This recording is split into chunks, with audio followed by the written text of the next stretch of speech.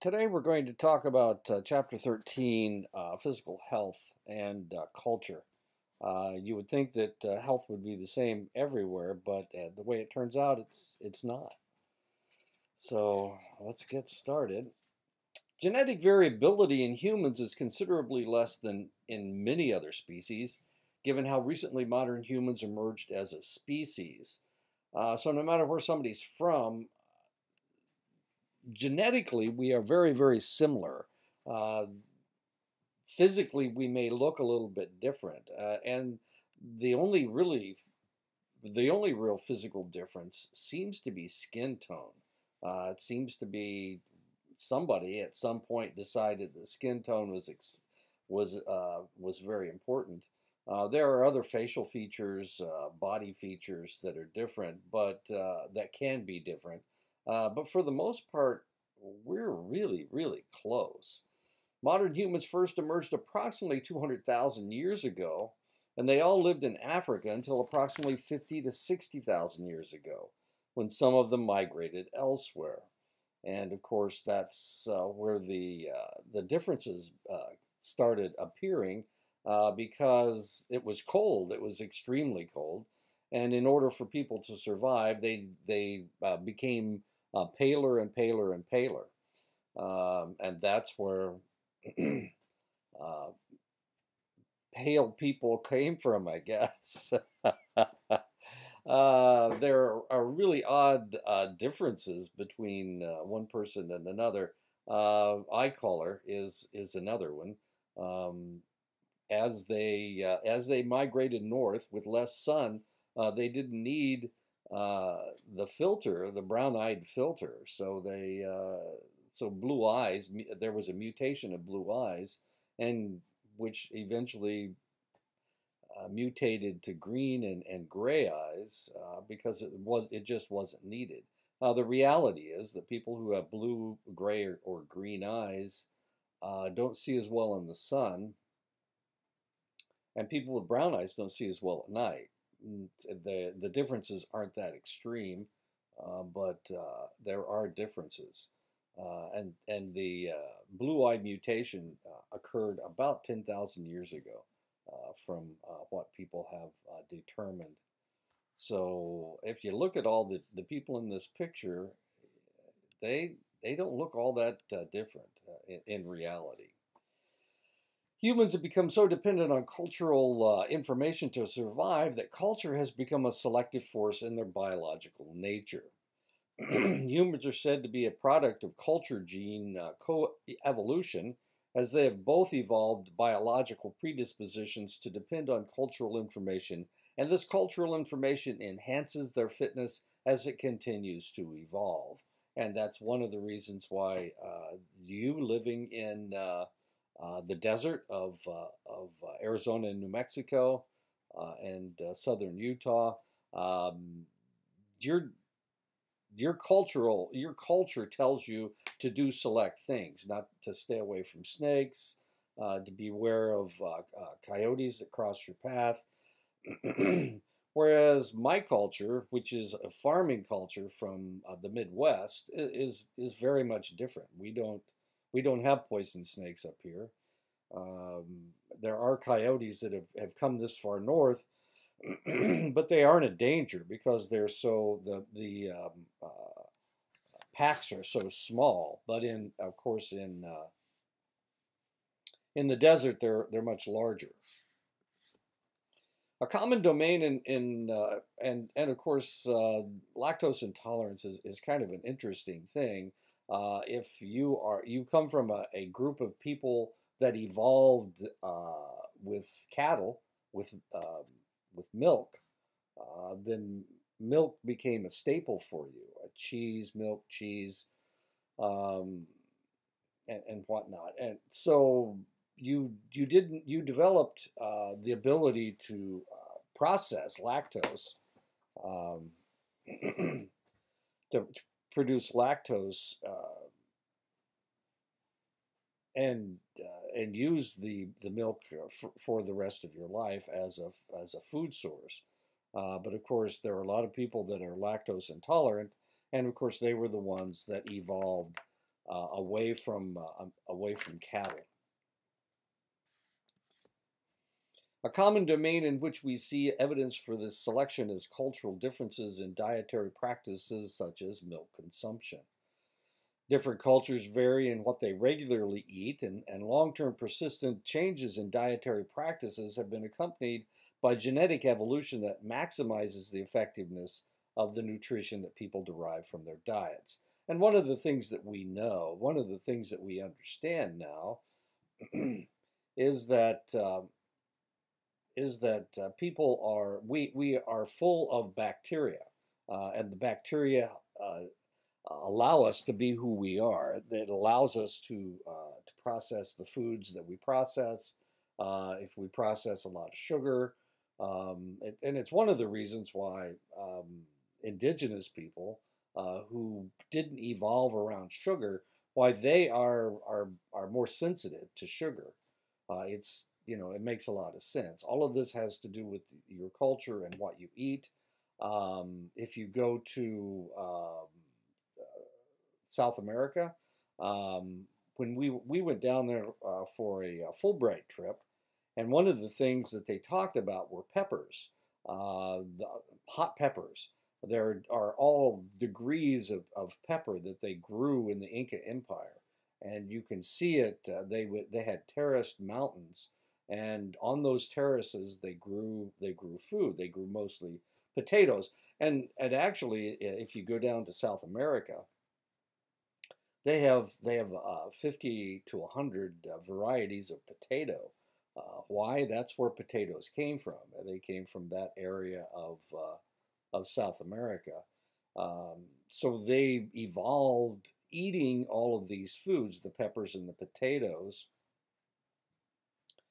and and that's the way their bodies uh, evolved, eating select foods if you go to the uh, Kalahari Desert, there are people in the Kalahari Desert uh, that have lived there for, for eons, and these individuals will eat anything that's edible.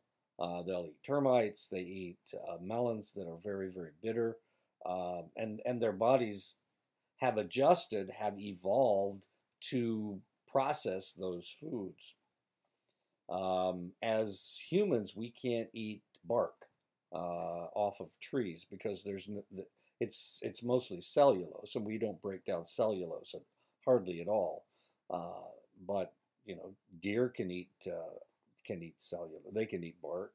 Uh, so we, as different individuals, have evolved eating different things. We have bacteria in our system that breaks down those things, and it's one of the problems that indigenous people had when they started getting food from uh, from Europeans, from Westerners, uh, because the food that the Westerners ate didn't uh, was not even anywhere close to what had been eat, had been eaten before. Uh, so the uh, the buffalo uh, hunting tribes in the plains, when they forced them to when they forced them to on onto reservations,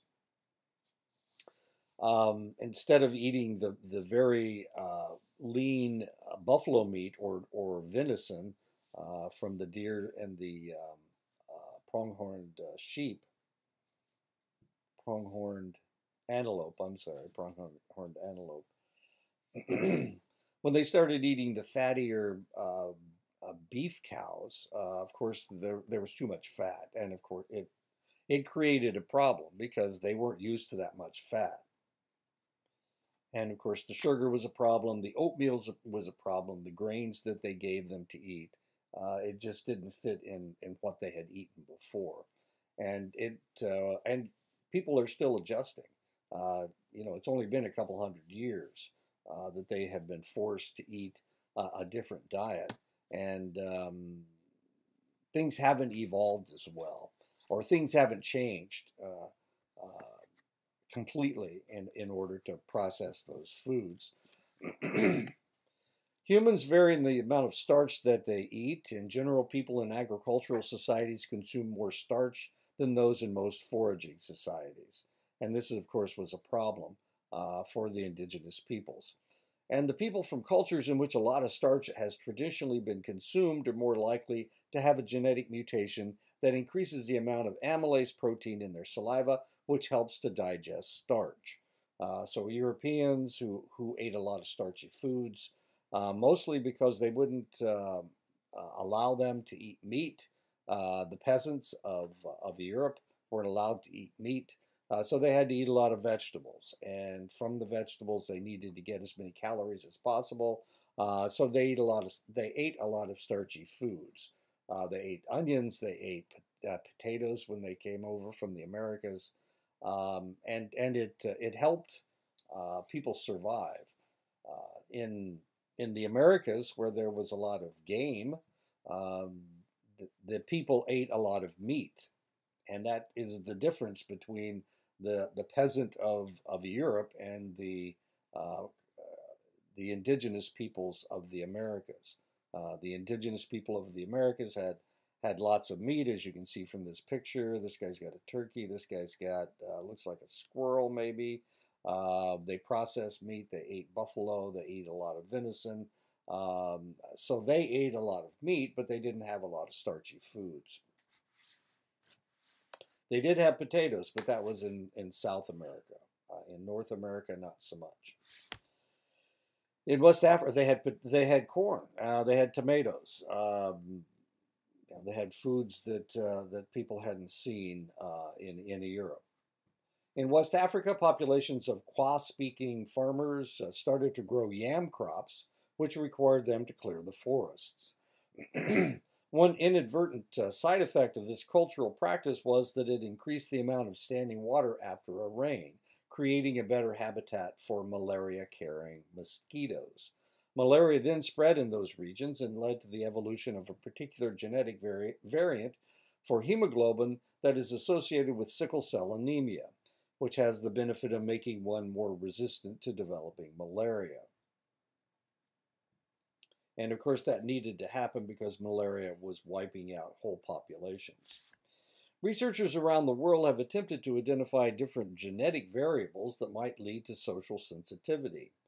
5-HTTLPR A118G and MAOA are alleles that, uh, that have been found in Asian samples, but not in European samples. Uh, could they have something to do with uh, social sensitivity? Uh, because uh, uh, Asians are more socially sensitive than certainly than the Europeans. A genetic variant that is associated with increased emotional support seeking in times of distress for European Americans is associated with decreased emotional support seeking among Koreans. A variant that is associated with increased attention to fore, uh, foreground objects among European Americans showed the opposite effect among Koreans. A variant that leads to better responses to antidepressants among Caucasians leads to worse responses among Koreans and Japanese. A variant associated, and, and actually, uh, uh just yesterday, the APA came out with an apology, um, an apology to uh, the the world. Uh, they said that they were they had uh, developed their psychological mindset to see uh, Western Western man Caucasians as the um, as the staple, as the basis uh, of all of their uh, psychological thought. so they apologize for being racist and for, for supporting systemic racism. Uh, there have been times in the past where they uh, graded people by whether they how intelligent they were. And of course, this is something that uh, should never have been done. Uh, but the APA has apologized for supporting systemic racism. And the reality is that some drugs that work on ca Caucasians don't work on other don't work as well on other individuals. And one of them is Prozac. One of them is uh, the selective serotonin reuptake inhibitors. Works fairly well with Caucasians. Doesn't work as well with Europe, with uh, with Asians and uh, other indigenous peoples. Um, and, and of course, this is something that need, needed to be looked at. One of the odd things that has come out of the COVID um, uh, crisis, the COVID uh, pandemic, is that we are noticing that there are select groups of individuals who do not, who are more sensitive to uh, respiratory infections. And those people are people who have type A blood. Now, we've known this in the past, but nobody wanted to say anything because they were afraid of insulting people. Uh, we had we knew that uh, people with type A blood uh, had a uh, an immune system that overreacted to uh, infections, and a lot of times it was controlling that uh, overreaction that that led to some from some very select problems. Now, of course, type A blood is is in Caucasians, it's in indigenous peoples, it's in African Americans. Uh, but uh, type A people, type A blood is more prevalent uh, percentage-wise in in minorities than it is in the in Caucasians in Western people.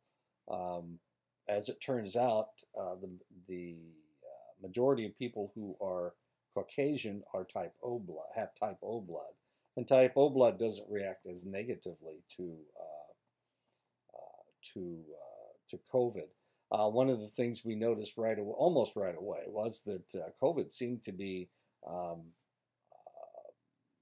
very difficult to deal with for, for African Americans. And one of the reasons, and the group that we are dealing with, or the, the group that was having problems, uh, were the individuals who had type, type A blood. Now, my daughter has type A blood. Uh, I think my son is type O, but uh, my daughter is type A. So if she ever catches COVID, uh, she's more likely to have a, an extreme reaction. It, it's really kind of interesting. She uh, uh, she has bronchitis, and anytime uh, she gets uh, tries to run in the cold uh, or or is, is outside too long and swallows too much cold air, she develops bronchitis, which is an overreaction to to, to stimulation of her bronchi. So there you go. This is this is something that uh, we have known for a while, but we didn't want to say anything because it seemed like we were saying that this this group is weaker than this group. Uh, so we didn't say that. But now we know that there are uh, genetic differences between people that cause some individuals uh, to have more problems than others. Now we've always known we've always known about sickle cell. Well, we've known for a long time about sickle cell anemia. Sickle cell anemia only happens uh, with uh, individuals. Uh, it's it's very rare uh, for it to surface uh, in somebody who is not of African descent, and we have talked about that. there's another one, Cooley's anemia, anemia, that only happens to southern Mediterranean people uh, southern Mediterranean people or Mediterranean people that live around the Mediterranean area. That's that would be Italians, uh, people from Spain, people from North Africa uh, have uh, have a, a, a um, uh, genetic proclivity for what is called Cooley's anemia. people from Greece.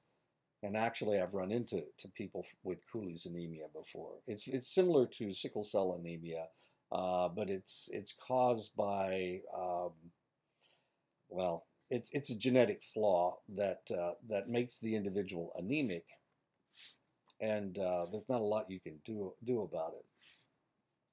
Just like sickle cell anemia, we haven't figured it out yet.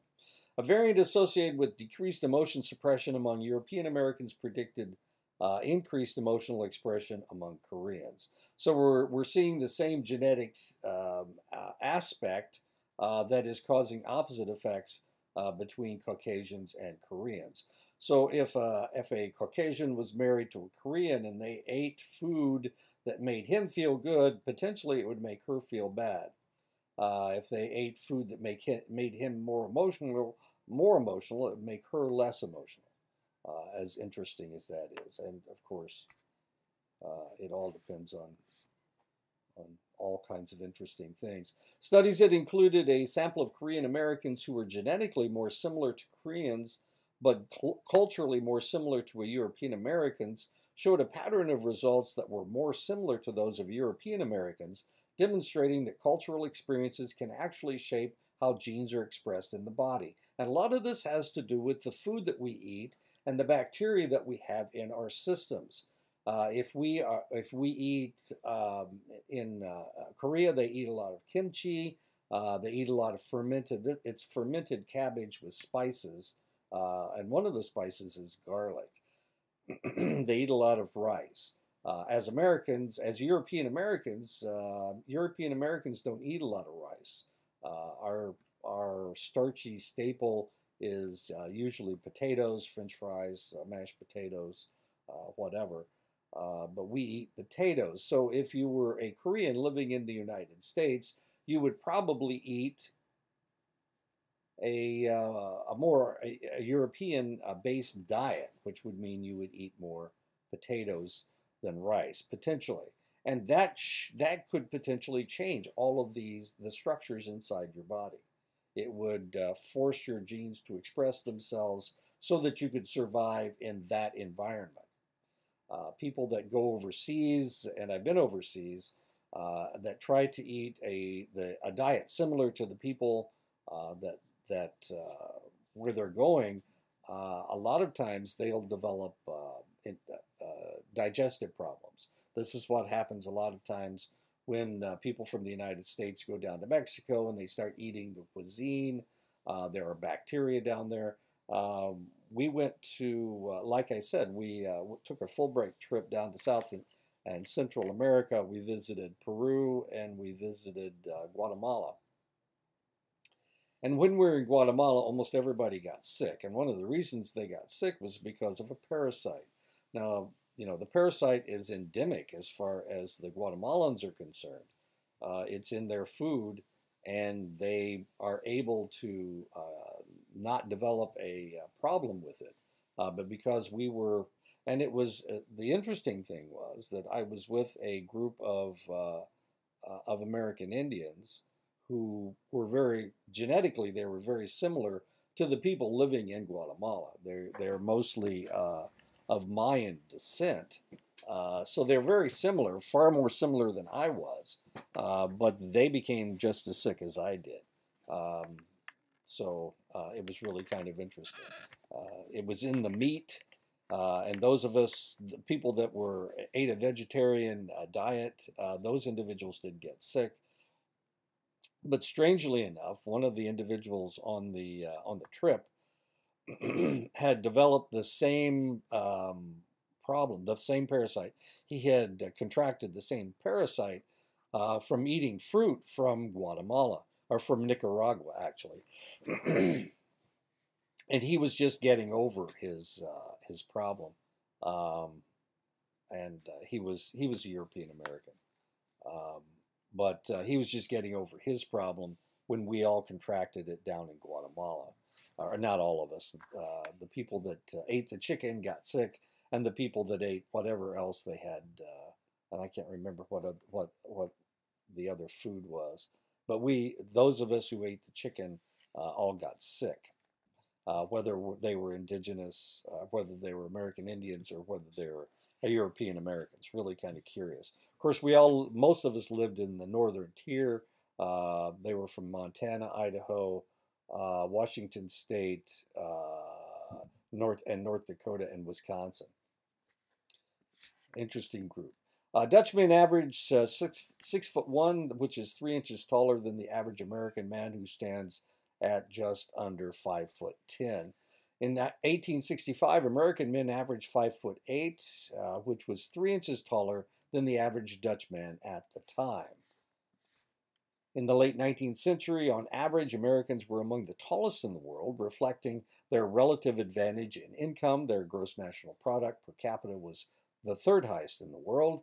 Uh, at the time, American men stood one inch taller than Britons, uh, the same height as Australians, two inches taller than Norwegians, three inches taller than the French, four inches taller than Italians, and more than seven inches taller than the Japanese. And this was in the 19th century. Uh, so when World War I started, uh, all of these people came together to fight. And one of the things that uh, people noticed was that Americans were were like the Americans and Australians were the biggest people on the battlefield. uh, and that was because of their uh, the food that they ate. They ate a lot of meat. They uh, had a lot of dairy products. Uh, they ate eggs.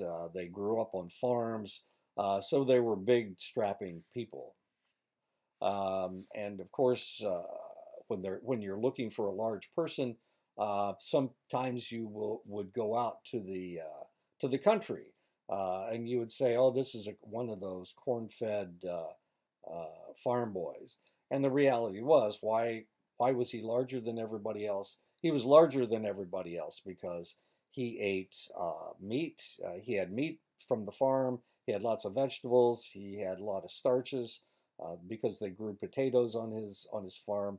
They had corn. Uh, they had all the dairy products he needed, and of course they raised chickens, and so he had eggs for breakfast and uh, ate meat for for every meal.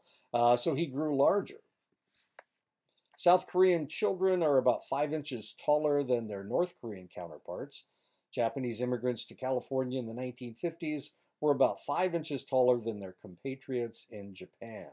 Dairy consumption, in particular, has been linked to height. And these are people from uh, the United. These are Japanese Americans from the United States. These are Japanese Americans from uh, Japan. Uh, I was really curious during World War II. Um, the uh, the individuals who went off to fight in the South Pacific, uh, they found the Japanese much much shorter than they were. They were so much, they were like five or six inches shorter than they were. So uh, it was it was really kind of a, an interesting uh, concept. You had all of these really big Americans, and you had all these really tiny, short uh, Japanese people. Uh, so after the war, when uh, the United States occupied Japan, one of the one of the things that they noticed, of course, was the fact that the Japanese people were so small. Now I have been to Japan. I'm not a very tall person. I'm only about five foot six. Uh, but when I was in Japan, I was about the average height of uh, the Japanese people. Um, that's one of the reasons why I fit in my Mazda Miata so well is because uh, the Mazda Miata was developed for in, in, Japan by the Japanese for the Japanese, and the cockpit that you sit in is a lot smaller uh, than most of the cockpits in the United from the United States in the United States. Uh, so I fit in that cockpit without any problem, and uh, if uh, because I'm about the same height as, as somebody that's Japanese. Now I've had people that were you know six foot five, six foot uh, two. They don't really fit in my car. Uh, they're just too big. They're too tall. Uh, I was I was carrying. I offered this guy a ride one time. We were driving about 25 miles, and uh, he he lived in in uh, a town right beside mine, and we were we both worked at Fort Belknap. So I offered him a ride. Uh, I had to put the top down. He was he was so tall he could, he couldn't even scrunch down and and be small enough to ride in my car. So I had to put the top down, and uh, he had about two or three inches that that uh, uh, kept getting blown in the wind. Luckily, it was it was summertime, so we were both okay. Japanese and Korean adults uh, report sleeping about an hour less per day than French adults do. Moreover, these cultures diff cultural differences are not just evident among adults. A systematic study of infants and toddlers in 17 countries around the world found that the Japanese infants sleep about one and a half hours less than North American infants. infants from Asian uh, countries were found to sleep much less than infants from Western countries. Dutch infants were found to sleep about 1.3 hours more than American infants, uh, people in countries at the extreme of the sleep spectrum, Japan and the Netherlands, have a pronounced difference in the amount that they sleep. Japanese, European Canadians, and Asian Canadians were provided biometric measurements to measure their sleep. Japanese participants slept about 1.2 hours less than two Canadian samples, Asian Canadians slept uh, similarly to European Canadians, uh, showing that it is cultural. And where does the culture come from? Well, potentially it comes from the diet. And here you have a Canadian who has all these people sleeping around him, and he's acting like he's putting them to sleep. Uh, Japanese participants indicated that their ideal amount of sleep was about uh, an hour less than that reported by Canadians. The Canadians described themselves as feeling more tired during the day, even though they were sleeping more than the Japanese.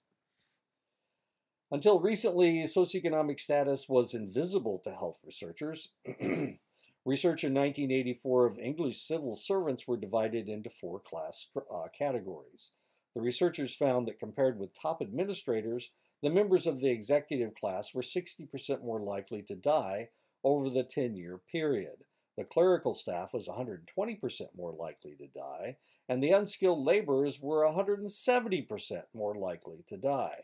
Now, why in the world would all of these tiers of, of people, why in the world would some people die more uh, readily than others?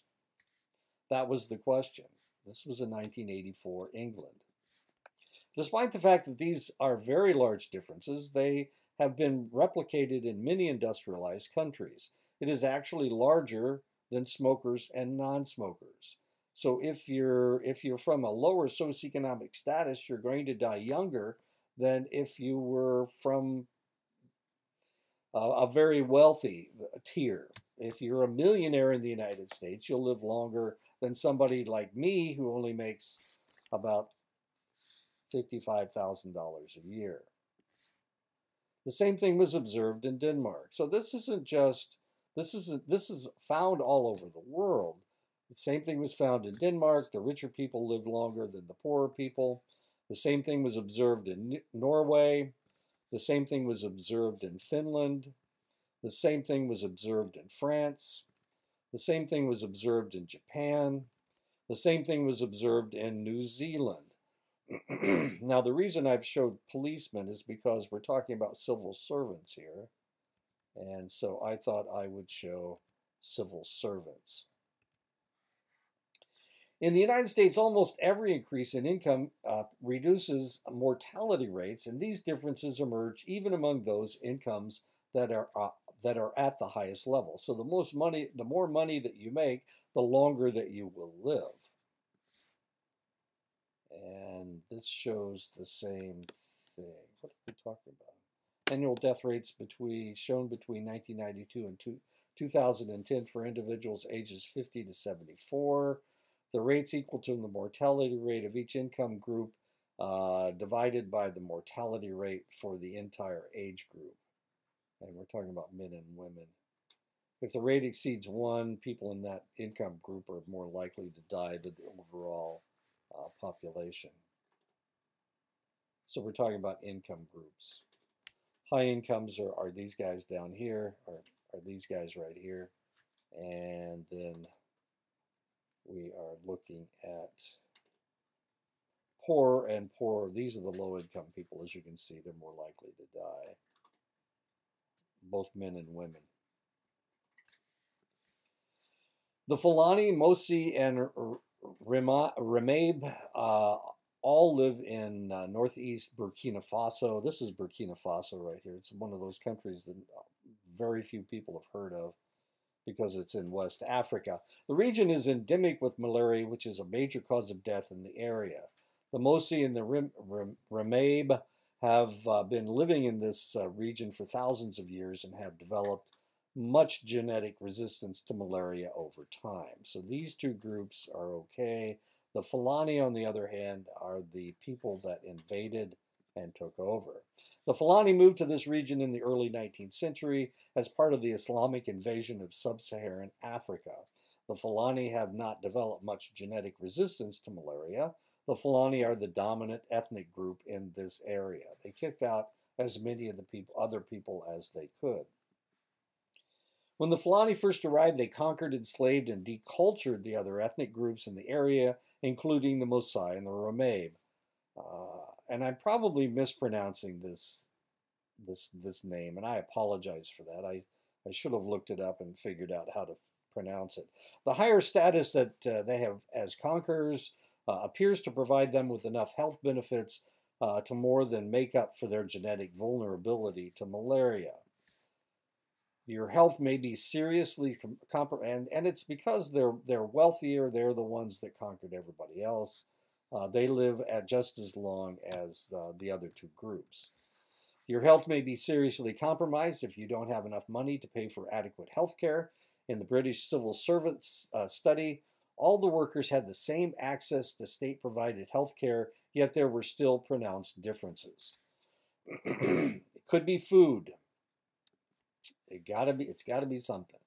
People lower in socioeconomic status are more likely to have uh, jobs that place them in hazardous situations, such as having to deal with poisonous toxins that make them vulnerable to workplace accidents. And of course, uh, this can be seen in uh, the uh, uh, uranium miners uh, from the Navajo Reservation, from the coal miners um, in the Black Mesa area, People in the lower socioeconomic status groups are more likely to smoke, eat a poor diet, and are less likely to exercise. And of course, if you've ever been to uh, the gas station in uh, uh, and and found your lunch uh, with that deep fat fried uh, food that they they serve over there, uh, you know that's or you eat potato chips or you eat little Debbie's. Um, yeah, you know if that's the the the food that you can afford to buy, uh, you'll buy the cheaper food. Uh, even canned food, the cheaper canned food has more salt and sugar in it than uh, other uh, cans, uh, the, the more expensive canned food, uh, like canned green beans. it has more ends rather than the middles of the of the green bean, so that you get less of the of the food that you think that you're you're getting even though the cans are the same size. Uh, the cheaper can has more sugar and more salt in it, and it has uh, less gr actual green bean structure.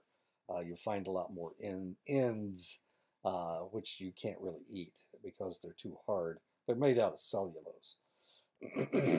but uh, if you get um, French cut green beans, uh, you don't get any ends. If you um, middle cut bacon, you know, my, my wife has uh, has decided that we uh, we can eat bacon, uh, but it has to be center cut bacon because that is the leanest uh, uh, cut of the bacon. So now we eat uh, center cut bacon, which is cost you know dollar fifty more. It's like buying the expensive gasoline. Chronically stressed people are more likely to engage in health compromising behaviors such as smoking and drinking in order to cope with the difficulties in their lives, and stress directly weakens the immune system's ability to fight off infections and manage other threats. So, if you're poor, you're under more stress. If you're under more stress, you're more likely to do something that will weaken your immune system. Even the stress itself will weaken your immune system, and you're more likely to get sick. People who feel that they have not, uh, they do not have much control uh, in their jobs tend to have a higher risk of heart disease. Uh, low levels of control are, are, more generally associated with poor physical functioning and an increased likelihood of illness. One study by Lachman and Weaver in 1998 found that though lower, although lower socioeconomic uh, status people have worse health outcomes, those with lower socioeconomic status who felt that they had much control uh, in their lives had levels of health and well being that were comparable with those in higher income groups. So it's a feeling that you have control. If you feel like you have no control over what's going to happen to you, you're more likely to get sick. It creates stress. The stress uh, weakens your immune system. You're more likely to get sick. Stress and feelings of lack of control tend to be more pronounced among those who occupy a subordinate position and are subject to the demands of those who are able to make decisions for them. This is not just true of humans. Research with various primates has revealed that those individuals who are subordinate to a hierarchy uh, experience greater stress, stress hormone levels when the society is ruled by intimidation, as in chimpanzees. These are chimpanzees, of course. And this is the cowed individual, and this is the one trying to intimidate him. The high stress hormones are especially true when subordinate primates are unable to, to easily avoid dominant individuals and when they have low availability of social support.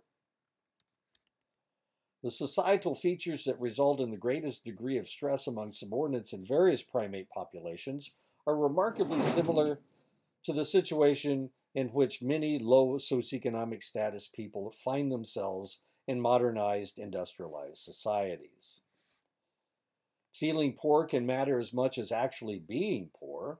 The experience of relative deprivation of knowing that others are doing better than you might lead to stress and its associated negative health consequences. There is a clear, and these ladies are drinking champagne out of the bottle. Okay. They're supposed to be wealthy people drinking champagne out of the bottle. That's Cristal right there. That's a $300 bottle of champagne. There is a clear relation between the absolute wealth of a nation and the average life expectancy of its citizens. This is true up to a, a gross domestic product per capita figure uh, of approximately $30,000 per year. After that, it kind of levels off. Above the per capita GDP $30,000, the curve largely flattens out, suggesting very little relation between absolute wealth and life expectancy. Many of the countries in the flat part of the curve have average incomes that are lower than that of the lowest Americans, yet these people don't seem to be worse off in terms of health, health outcomes.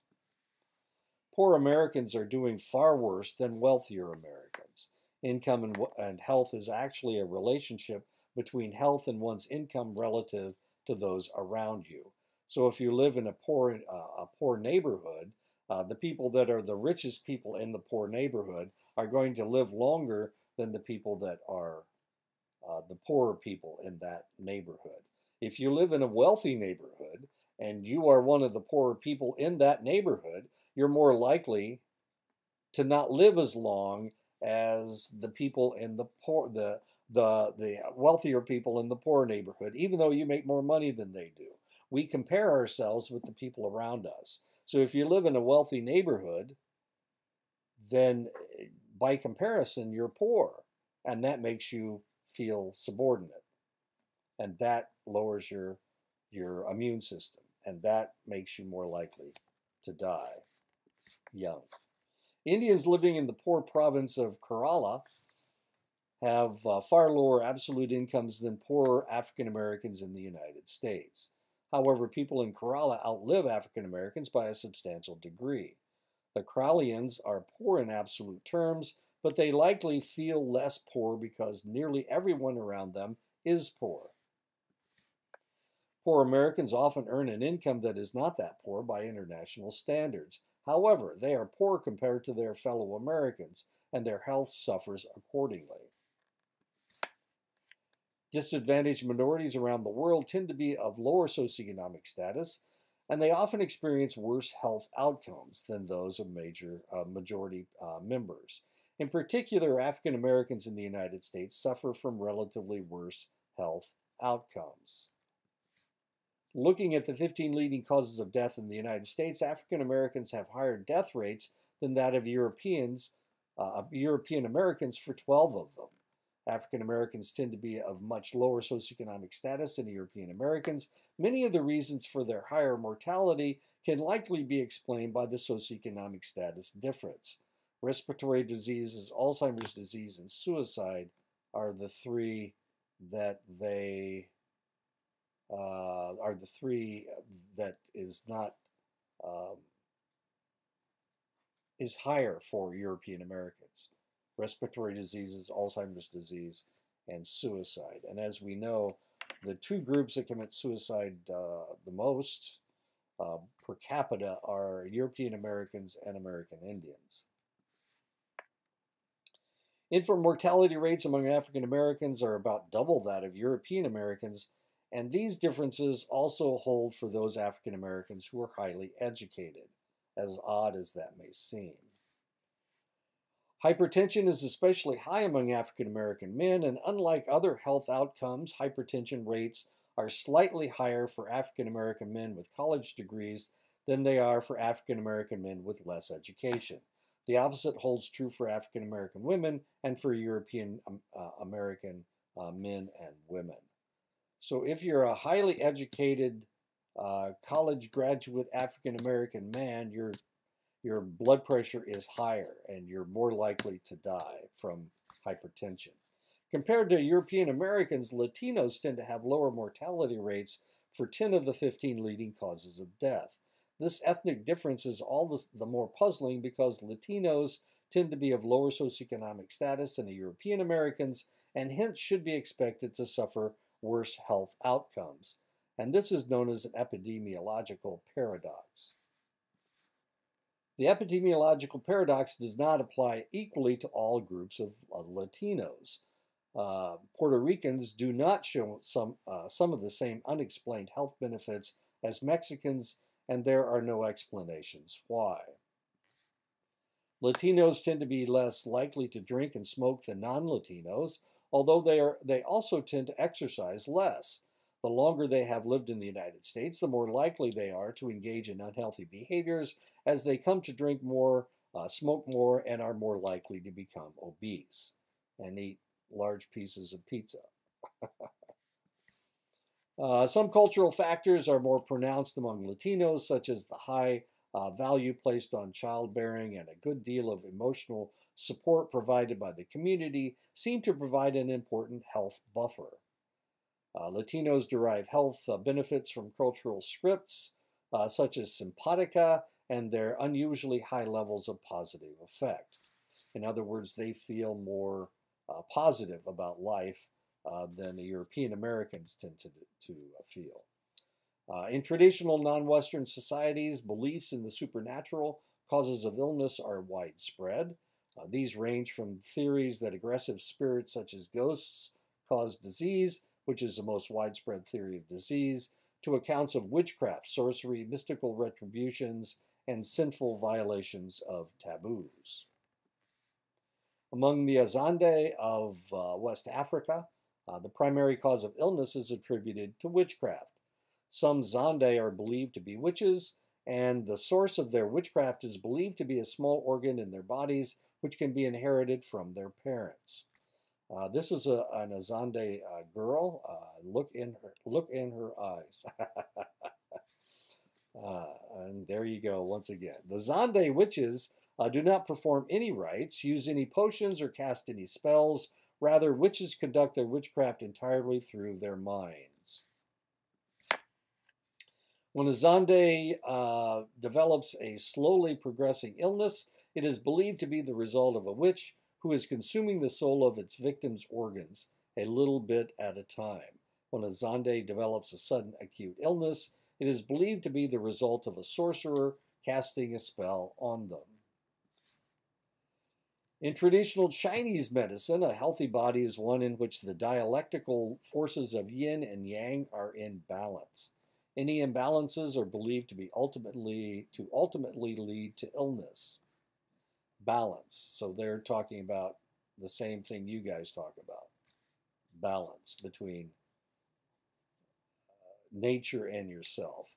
A person who has liver fire will have symptoms such as headaches, flush. We're talking about China again. Um, a person who has liver fire uh, will have symptoms such as headaches, flushed face, and anger. And this illness is believed to be caused by having too much yang and not enough yin. Uh, such an imbalance can be corrected by acupuncture, herbal remedies, exercise, diet, and lifestyle. Western doctors often disagree with one another. There are rather striking differences between medical practices of French and American doctors. French believe in the concept of terrain or balance. This emphasis on balance shifts drug con consumption away from antibiotics and toward various tonics and vitamins that are believed to strengthen the immune system. Long rest and spa visits are also viewed as an important part of a lifestyle that rejuvenates the terrain. Hospital stays are relatively long in France, about double the length in the United States for the same procedures, to provide ample time for recuperation. Uh, okay. Uh, one of the things they do is bring in clowns. Uh, to entertain people, to make them smile, to make them feel better. And this is a clown in in France who goes through the ward and does her little strange dance and makes people smile. And they they feel that this helps people recuperate, helps them recover.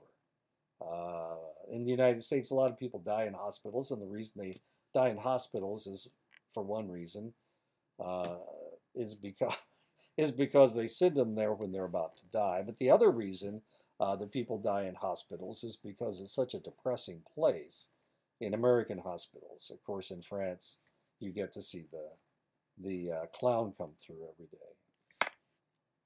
Uh, when Europeans first came to the Americas, the natives often commented on how badly they smelled. This is because the common medical practice in the 17th century in France stated that bodily secretions offered a layer of protection, so it was considered unhealthy to bathe frequently. In 19, a 1976 article in Le Monde uh, stated that the French uh, hospital patient had the right to a monthly bath and a weekly foot uh, to weekly foot washings. French dermatologists recommend that people, even those with oily hair, not wash their hair more uh, than uh, once a week because doing so causes a greater amount of oil to be secreted. And that is how they feel in France. So if you ever watch a French movie, you may notice uh, that the French actors have greasy hair. And the reason is because they only wash their hair once a week. And they don't bathe that frequently. So if you've ever been around a French tourist, uh, you may have, have uh, detected a, uh, a negative body odor. Whoops, went the wrong way. The metaphor used in the United States by doctors is that the body is like a machine that needs to be tended to regularly to ensure that it is running well. When there are problems with, uh, with the body, it is often treated in ways that you might expect to see a machine repaired. U.S. medicine is known as the most aggressive in the world. Surgical procedures are used far more in the United States than in other countries where malfunctioning parts are removed, replaced, and or physically altered. Sounds like you're working on your car. U.S. doctors are more likely than European doctors to use surgery rather than drugs, but when drugs are prescribed in the United States, they are prescribed at higher dosages than any other country. It is rare in the United States for a doctor to prescribe rest and relaxation as a curative agent.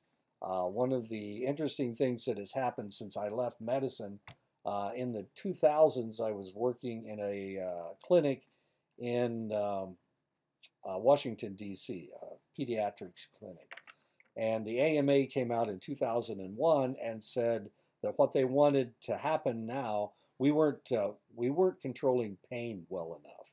So they decided that they needed to be more aggressive at dealing with pain. Uh, there were too pe many people in the United States with back pain, with uh, chronic pains, and we needed to do something about that. So they, uh, the AMA decided that they would increase the amount of opiates and opioids that were being used uh, to control pain. Uh, they needed to increase these. They needed to give people more of them. Uh, they needed to increase the dosage so that they were in less pain. Uh, the amount of pain hasn't really redu been reduced, but the amount of opiates and opioids on the streets has increased markedly, and that's one of the reasons. That's one of the reasons why we're having an opiate opioid uh, crisis right now, is because in 2000 2001 the AMA decided that we needed better pain control, and obviously it was a mistake. U.S. doctors tend to search for external causes of illness, such as bacteria and viruses. U.S. doctors pre- prescribe more antibiotics than doctors from el- uh, elsewhere, and Americans tend to have a greater concern for cleanliness and attempt to avoid contact with germs. And that may be a mistake as well because uh, it's actually the, the uh, germs that can protect you. Uh, the, an anti, uh, a an environment that has no germs. Uh, you don't develop an immune system that can fight off germs and viruses. Uh, I'm not saying that you should live in a dirty environment. What I'm saying is we live in too uh, sterile an environment, and because of the sterility, uh, we are not allowing our children to become immune to select diseases.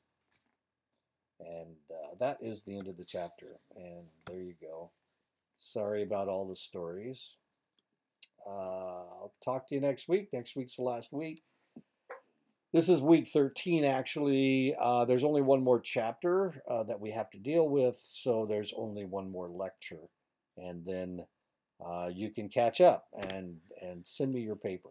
Um, one of the things about your paper, uh, I want you to talk about uh, your culture and, and a culture that you don't know about, a culture that's alien to you. It can be another tribe, it can be uh, uh, an overseas culture, uh, it can be anything except the dominant um, uh, white American culture, which is a myth anyway. But we, what I want you to do is research another culture. Uh, one of the things that may happen to you if you become a counselor is that uh, wh while you are counseling, you may come in contact with somebody who's not a Navajo. And if that is what happens to you, then you're going to have to understand that person from their cultural perspective. Uh, so you're going to potentially have to do um, some research to discover what's going on as far as that person's mindset is concerned. Uh, and so I want you to, to understand that there are other people in the world who have different uh, different ideas than uh, than the Dene people. Uh, so uh, that's that is your mission is to find a book or to find a book that deals with another culture. Uh, I, I can give you suggestions if you need suggestions. Um, I have a whole stack of books over here dealing with cultures other than the Dene culture. I have a whole stack of books over here dealing with the Dene culture. As a matter of fact, right now I'm reading a book called The Scalpel and the Sil Silver Bear. Uh, the first Navajo woman surgeon combines Western medicine and traditional healing. Uh, really fascinating so far. I'm on page 86. Uh, I'll get through that eventually, but right now I'm reading papers and doing a lot of grading uh, and advising. So if you, if anybody needs any help with their with advising, uh, you can uh, talk to what's his name Dominguez, last name Dominguez, first name Calvin Calvin Dominguez. You can talk to Calvin Dominguez. You can talk to uh, Dr. Russ. You can talk to Professor Barber. You can talk to me. You can talk to Dr. Dr. Begay but you, you have to understand Dr. Begay is really busy, so uh, it may be difficult for her. Uh, for her, I, I would go to the other three of us. Uh, she's she's actually trying to put together a. Um, uh, uh, she's trying to get, put together a curriculum that uh, deals with that supports the traditional psychology of of the Dene people. Um, real important. Uh, so uh, pick on pick on the other three of us or Calvin, uh, Dr. Russ, Professor Barber, or myself, uh, and we will help you uh, with advising. Uh, Tara Lamont Harvey is no longer working as she did before. She's now working for the provost. she's not advising in our department anymore. So we will have to do the, the, advising. So if you need, um, you've got my uh, uh, Zoom uh, address for uh, office hours. Um, email me. I'll be glad to help you in any way I possibly can. Uh, so I'll talk to you next week.